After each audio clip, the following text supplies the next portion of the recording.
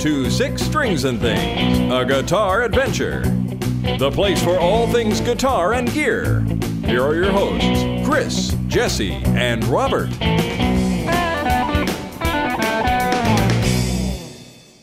Thank you, Scott Fletcher. Welcome to Six Strings and Things, a guitar adventure, your fortnightly webcast for all things guitar and gear. I'm Chris. With me tonight is Jesse. Hello. And as usual, not with us tonight is Robert. We missed Robert. Yeah, well, I'm beginning to forget what Robert looks like. yeah. Well, you know, I think he uh he's got a lot on his plate with work and also with uh, buying this new house he's buying. So he told me, uh, he told actually told us he'll be AWOL for a little while until the house gets all settled. But I think that's uh, coming up next week, maybe. So, So- hopefully the next tune in, same bad time, same bad channel, Yeah. and maybe next episode, maybe not. Yeah. So uh, let's go ahead and uh, get the show on the road here. What have you been doing this week, guitar wise, Jesse? uh, two things. One, kind of uh, remembering how to flat or uh, finger pick uh, acoustic guitar. Got back on acoustic guitar. Um, it's interesting how uh, your fingers go really soft if you don't play acoustic guitar or bass for a while. Um, oh well, it's it's constant evolution. Uh, so that was nice, you know, just um, doing some something just uh, I don't know, intrinsically cool about sitting on the sofa and playing an acoustic guitar. Yeah. The other thing was um, uh, some kind of just chord theory, kind of reminding myself. Actually, not reminding myself. I didn't learn the CAGED system when I was learning, but it's kind of a neat way of thinking about stuff. I don't know if you've um, looked at the CAGED system on Yep. various YouTube things. Um, Yeah. I know Justin Guitar has a couple, and there's uh, various other ones who do it too. And it's a pretty good way of thinking about chords and chord positions and arpeggios and you know the fretboard and where the notes are.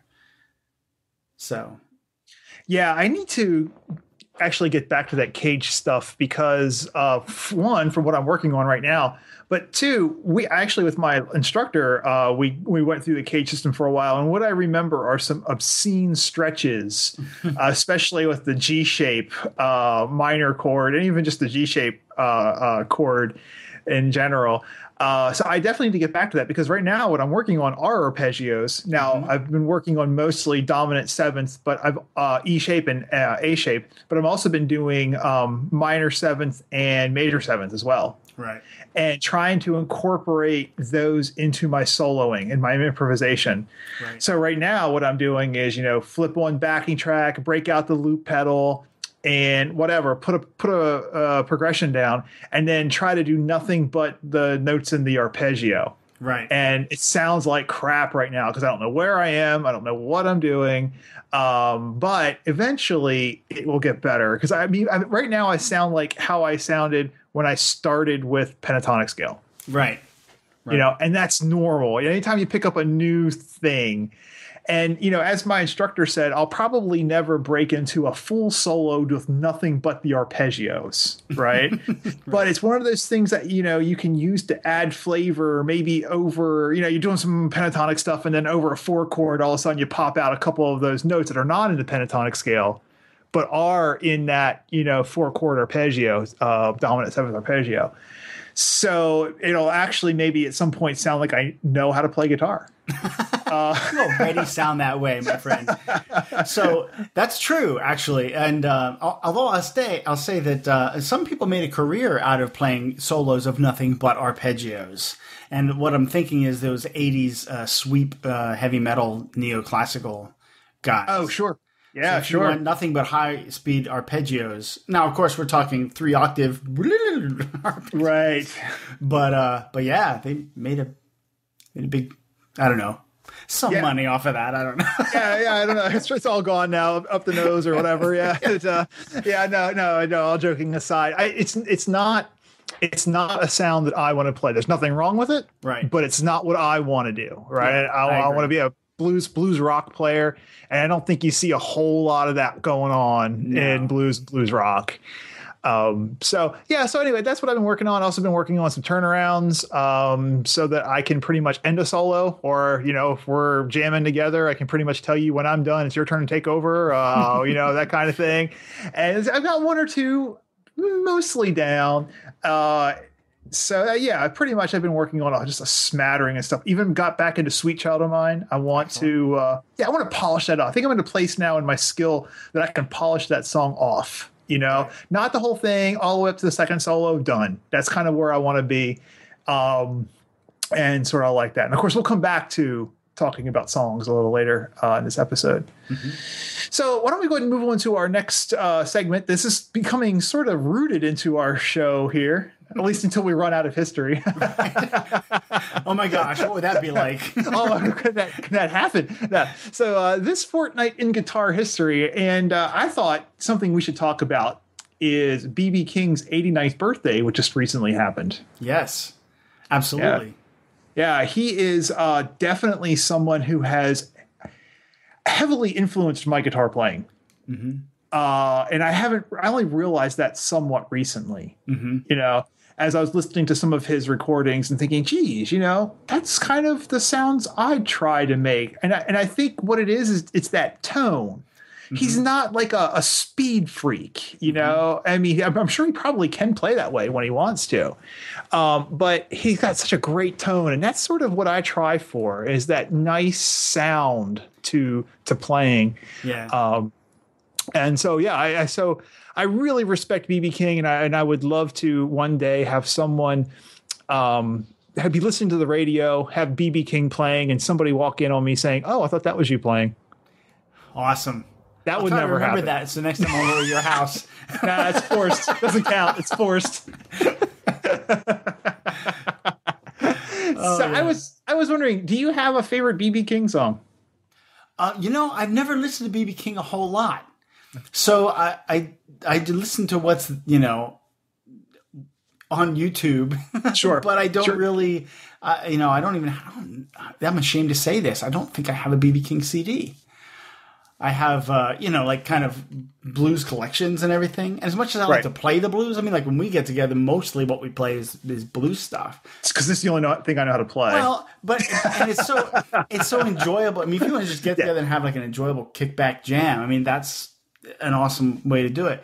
Um, and yet, having said that, I'm not well steeped in the blues kind of sort of history, except for like newer, you know, like um, uh, Stevie Ray and, and Jeff Healey, those kind of, you know, the newer guys. Right. Um, but yeah, so, oh, shameful. But I, what was funny, uh, I, I tend to, the one thing that I, I don't know if I got it from BB King, but one of the things that I'm, I'm similar is, is vibrato. I mean, I saw him play and kind of, oh. hey, sometimes a vibrato. I mean, I tend to overplay, which is the opposite of what BB King does. right, right. Know? But it's like, uh, but it, when I actually slow down, I actually hit a, a that shimmery vibrato. I was like, oh, wow. Yeah, he's the king of that, isn't he? I mean, think of like the thrill is gone. Yeah. That first that first note where he sits on that B vibrato, right? Yeah. And it's just it's amazing and it's clear it's it's textbook this is how you're supposed to play a vibrato yeah yeah. you know and by saying that i that that i that i i don't mean to say that i have it anywhere near bb king's ability you know um, it's not very smooth i'm just saying that's sort of where i yeah. go maybe because that's what i like to hear that, that yeah sound.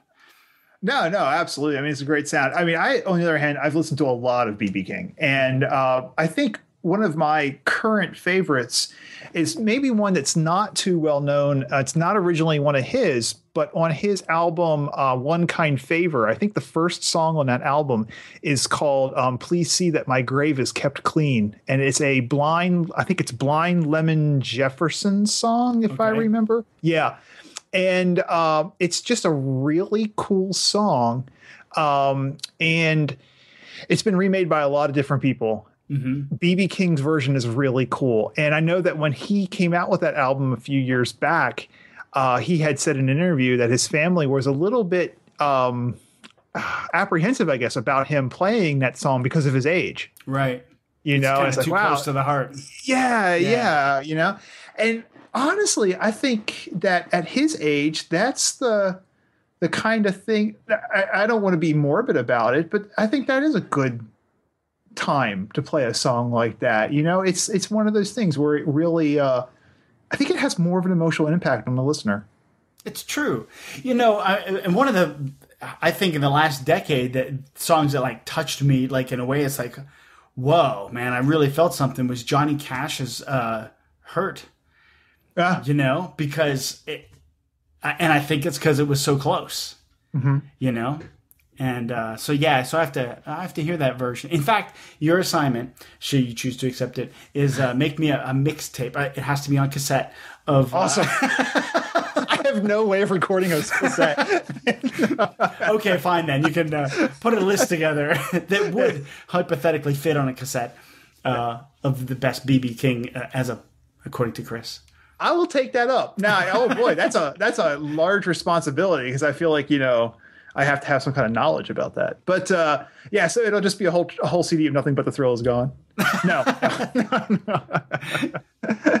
so, all right. Well, uh, listeners, uh, if you would like to share with us your favorite BB King um, songs, uh, please tweet us at SST Show or uh, hop over to our YouTube um, channel and just search us, uh, Six Strings and Things on YouTube, and place a comment the underneath this episode and say, "Hey guys, this is my favorite song," and maybe we can get a little discussion going on about BB King and his great songs.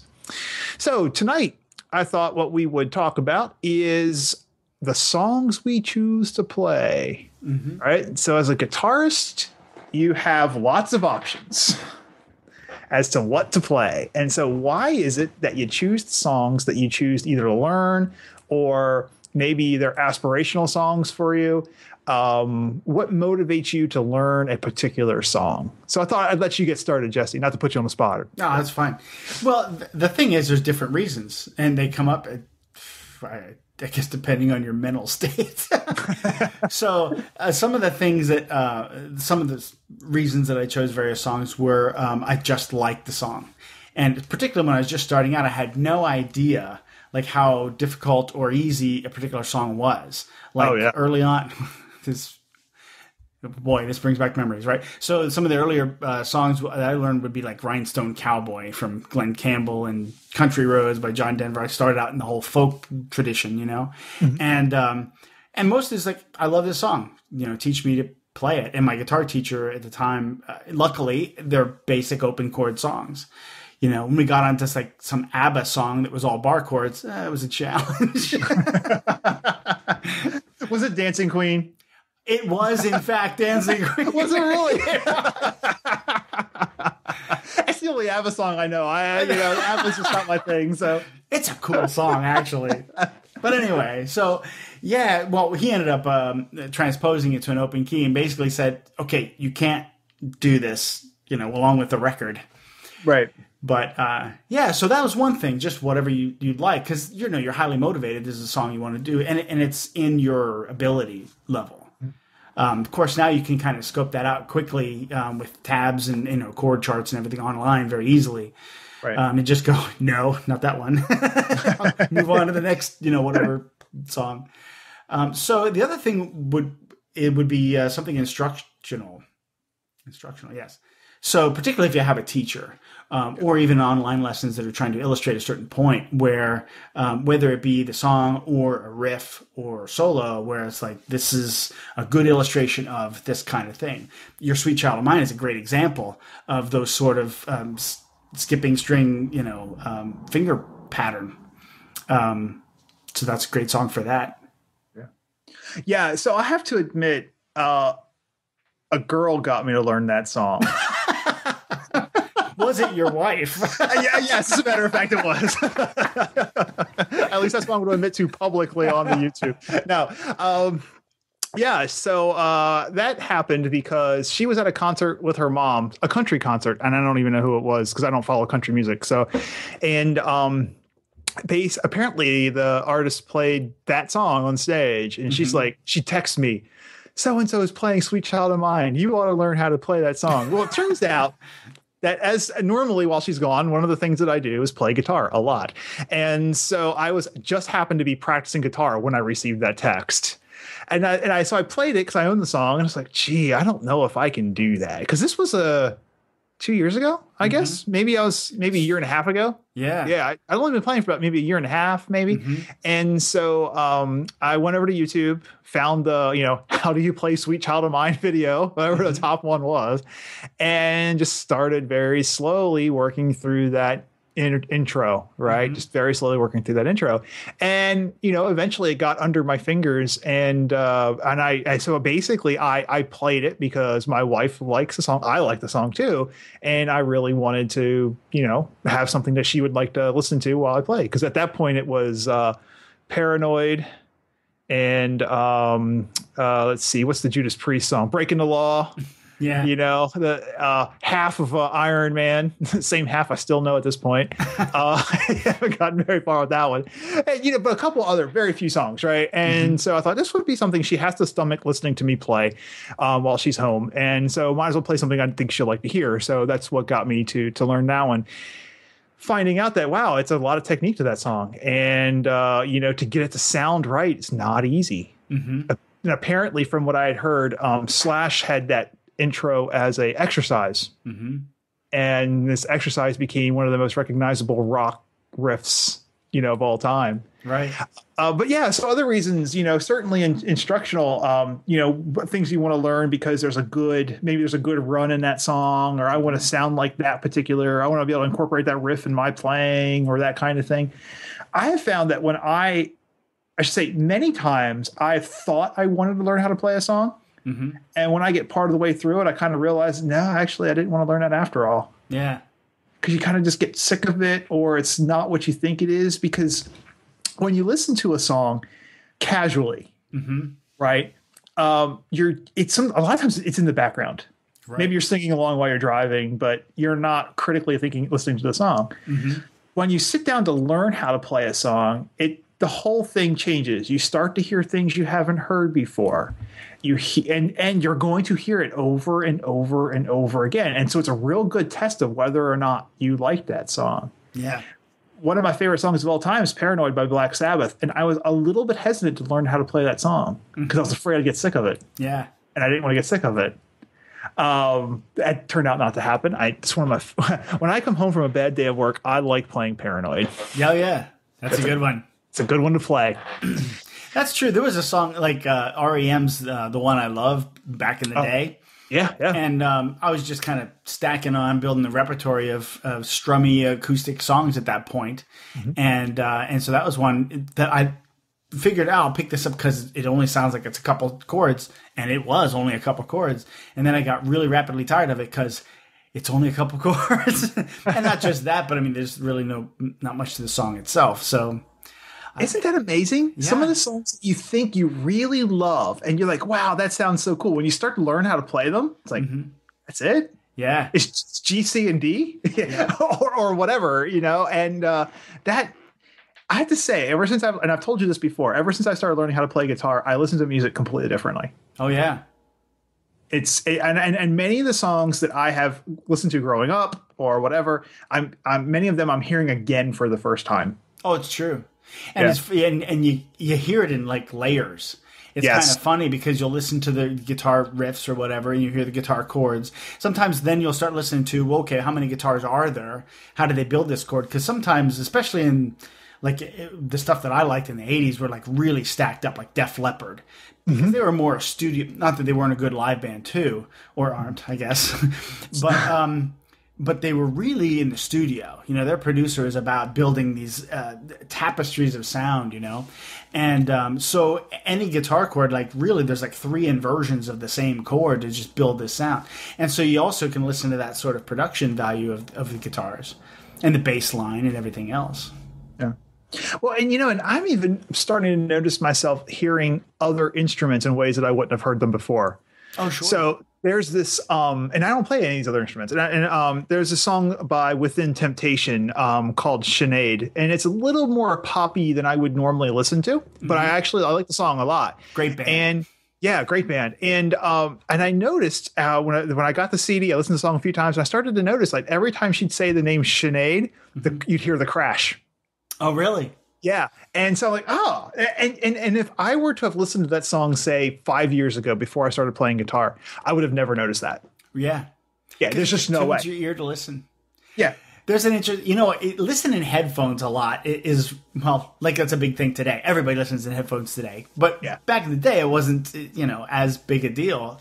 Um, but I would listen really intently, and there were some bands like Queensryche was one of my favorite bands, and uh, their production was weird in that they would put subtle effects on different like lines of the song of the lead vocal. And it's funny because you'll hear an effect and then that effect will go away and another effect will come in. And they're subtle but it's always changing to kind of i don't know change the mood like constantly Yeah, even simple little effects left and right, switching Yeah. the left and right channels. You know, uh, there's a few Metallica. I can't remember off the top of my head, but there's a Metallica song that uh, I had listened to with headphones on, and I was like, "Whoa, that's completely different than through my stereo speakers." absolutely But you know, the key if you're listening to headphones is to have headphones, not earbuds. yeah big time get some good Yeah. headphones Yeah, get some good. They're definitely worthwhile getting if you if you want to enjoy music. And uh, I think I'm getting to the point where I'm old enough that my ears are bad enough that MP3s are okay. just keep the bit rate high and you should be all right right, right, right. Absolutely. Um, so yeah, I, I guess we kind of diverged from our topic of why we choose certain songs to play a little Wow, bit. That's okay. surprise Oh, that's we got off topic that's how that's how this show works, you know. Um, but yeah, I mean, there's actually been songs that I've I've didn't choose to learn how to play, but my instructor suggested them that he thought they'd be good for me. Mhm. Uh, Funk 49 was one that he recommended, and I never got through the whole thing, but there were some really interesting hammer-ons with chords, Mhm. which I had never seen before. And it was a great little thing to learn of, you know, how do you do the chord with the hammer on? And it just has this great sound um, to it. And, and there's been a few others that he's recommended that, you know, weren't ones that I would have come up with on my own. Uh, well, Breaking the Law. Mhm. That was one that was, you know, suggested by my instructor. And it's like, yeah, well, that's a good beginner song. So why not? sure Um, so yeah, there's lots of good reasons to uh, to choose a song, whether you want to learn a part, whether you want to learn the whole thing, whether or not you end up hating the song after they get done, get done learning it. impress a girl and then she Yep. goes after the football player anyway That's right. Yeah, yeah, yeah. totally If made that up never happened to me Yeah, yeah, well, yeah, you know, kids, if you're learning to play the guitar to get the girl, don't play guitar to get the girl. yeah it's true There's always the football player around the corner. but in the end you win anyway because you get the guitar That's true. That's right. That's right. That's right. Absolutely. But I won't say anything else that'll get myself in trouble. so, as I do know, my wife does listen to this show. So, uh, yeah. Anyway, uh, is there anything else that you'd like to add to uh, uh, the songs tonight, Jesse? Um, I don't think so. We will again. We will touch on these things repeatedly, so I'm sure things will come Yeah. up in our minds. Yeah, and we just want to get the conversation started. So, you know, listeners, please uh, tweet us at SST Show, leave comments on the uh, YouTube channel, visit our site, jestercat.com, and let us know what songs are you working on right now and why did you start to play them? So, I guess we will conclude for this evening. So, until next time, boys and girls, just remember keep picking and grinning. Six Strings and Things, a guitar adventure, is a production of Jestercat Studios. You can see more about this and all other Jestercat shows at jestercat.com. You can also email the show at sst at jestercat.com or continue the conversation on Twitter at sst show. You can follow Robert at RS Macy, Jesse at Jester700, and Chris at CW Culp. Thanks to Jesse for playing and recording our intro music.